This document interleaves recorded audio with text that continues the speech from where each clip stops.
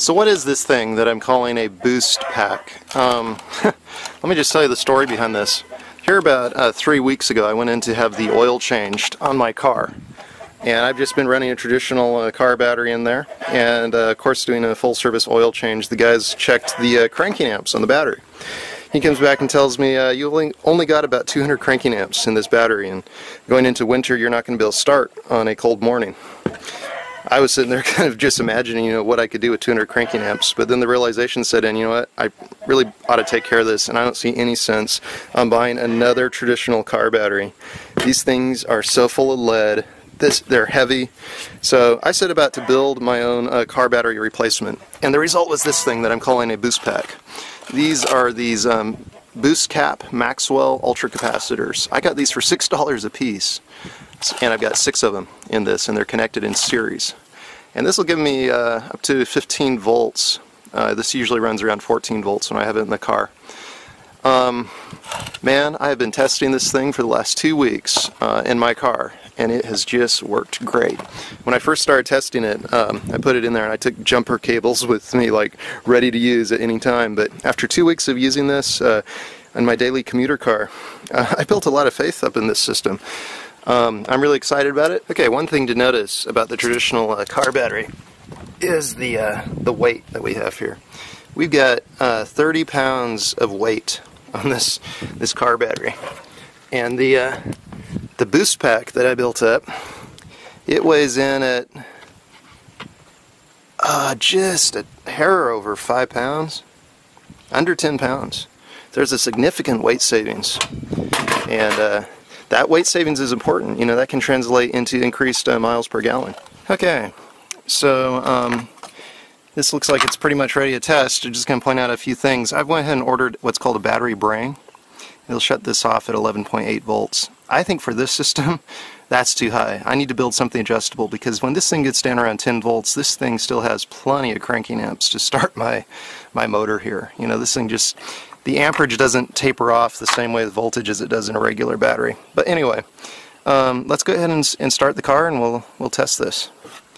Um, one of the things I really like about this setup is how nice and quick the uh, car starts. You know, this has plenty of amperage to keep the car happy. And uh, just really nice system. You know, I've been testing this two weeks. Sometimes I left the car three, four days um, during one period just down and didn't drive it and came back and uh, started right up just like that folks so I think that was three starts let's do a couple more quickly and then let's go look at the uh, voltage so if you notice we, we were not giving the uh, alternator very much time to recharge the uh, the boost pack here but let's go ahead and check this out and we're at 12.64 volts about 12.6 volts.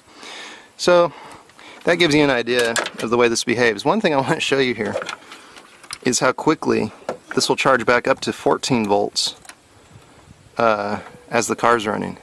So I'm going to start it we'll get out here quickly and take a look at that. Okay, let's start this up. Alright, let's get out here. Watch this, folks. that is just charging right back up to 4 volts. And that's literally how fast this uh, this pack recharges. And you can hear the uh, the draw on the alternator dropping off as it comes up to uh, 14 volts here. So within minutes of starting your car, you're you're topped off again, right back where you want to be at 14. And this car comes out around 14.8 volts, and that's usually where it settles down at. So so right now I've got the uh, headlights on. I know you probably can't see that. I've got the AC on. So the headlights are just burning out. They're drawing down our voltage on this battery bank. I've got the AC on, so I go ahead and start. That's going to engage. Let's try this out. oh, I love the sound of that start.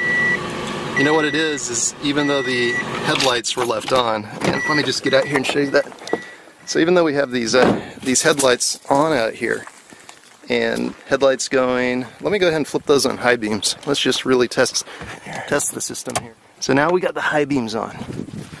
So got the high beams on here. We're really drawing down the uh, the voltage on this pack. We're down to 10 volts and dropping. Let's go ahead and start this car up. 10 volts and dropping. I don't know, we're probably at 9 volts. I got the AC on. Listen to this. Starts right up. oh, that's what I love about this uh, this boost pack. So uh, we're going to test this on some other vehicles. I'm going to build up two more units. Since I only paid $6 a piece for these uh, caps, you know, we're building these in at a really cheap price. Um, you know, they should be coming out 50 to $100. I'm going to give some of these to some friends. I have a friend who commutes uh, between states with his job a lot. I'm going to give one to him, see if he sees an increase in gas mileage. I'm going to give one to a guy that I know is driving a uh, big Grand Jeep Cherokee. And uh, we're going to test these things pretty hard. And I'll come back with an update here later and see how these do, you know. Go a couple months into winter here testing these, but so far I'm just really happy and I'm going to be very happy never to have to buy another one of these, you know, and have to deal with the recycling and all the lead that's in these things and all the weight that I've been lugging around. If you think about the amount of weight, pounds of lead I've been hauling around for, you know, thousands of miles when I could have been hauling this little unit here that weighs in at about five pounds. so that's it folks. Let's all keep experimenting. Okay, I just want to point out another uh, use case for a boost uh, pack like this. Um, in a small off-the-grid workshop or something along that line, um, these would come in really handy if you don't run a prolonged uh, load. I'm going to show some testing here with the drill press.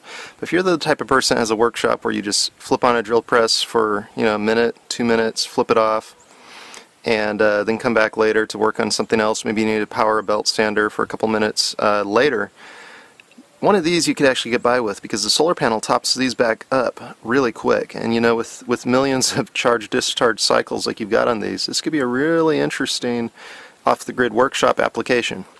Not so good if you run uh, power tools for a prolonged period though. Anyway let me just show you what I'm talking about. I've got the uh, the power coming from this small 13 watt solar panel. And uh, I just laid it here in the car windshield. This is one of those portable 13 watt fold up panels. So anyway I set that there. Um, it's topped this this uh, boost pack right back up to uh, 14 volts here in uh, I don't know 10-20 minutes and uh, 15 volts would be the uh, maximum capacity of this particular boost pack but anyway let me just uh, disconnect it from there and connect my inverter here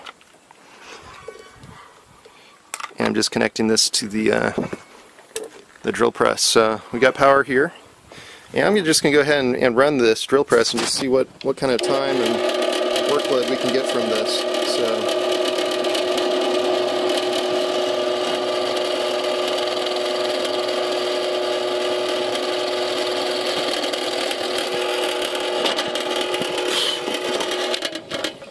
So, uh, three quarter inch plywood, build a nice uh, half inch hole through there, running some lighting here on the operation.